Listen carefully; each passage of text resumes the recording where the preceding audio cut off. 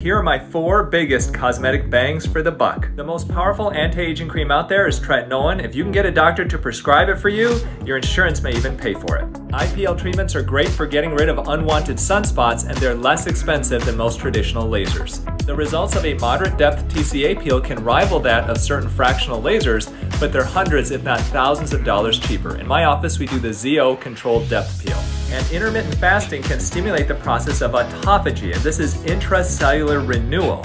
This is a process where your body gets rid of used and unwanted intracellular organelles and proteins, making the way for better functioning cells overall. So remember to autojuvenate before you operate.